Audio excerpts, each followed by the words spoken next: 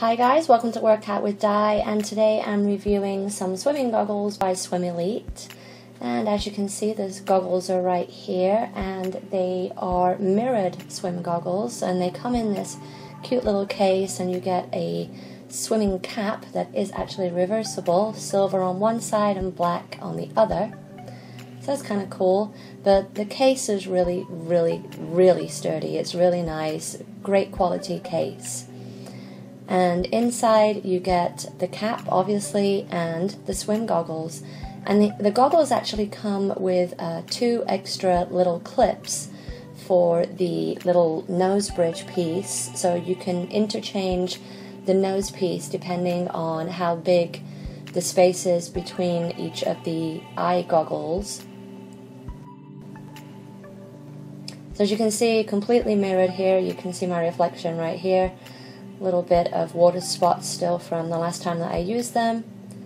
And what I really liked about these goggles was the fact that to to put them on, all you do is kind of put the front part on, kind of sucker them into the eye sockets, and then close the clasp at the back. You don't have to kind of have them like pulling it all over your head. They just simply clasp at the back. So really, really simple, quick, and easy to use. To adjust, you just push down on the little um, lever and then pull the strap through. It holds it really nice and secure when you're swimming, and the goggles just definitely stay put.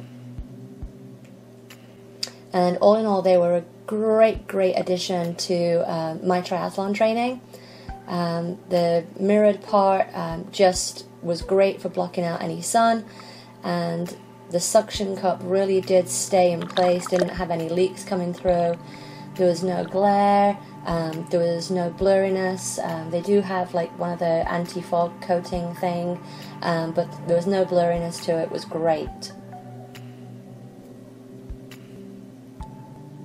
And that is the swim goggles from Swim Elite. I am going to leave a link to in the description, so do check them out if you're interested in looking for a pair of goggles for any swimming or any triathlon training. And I will see you soon. Bye.